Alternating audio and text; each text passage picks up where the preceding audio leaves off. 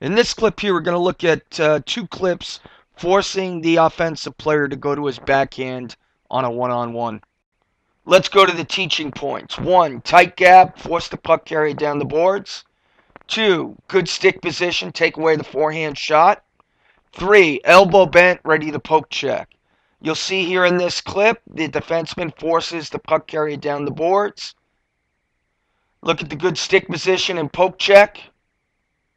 On this clip, you're going to see the defenseman's in good body position, forces the puck carrier outside the dots to his backhand, and pressures up. The defense does a pretty good job here again, taking away the forehand shot, forcing him to his backhand.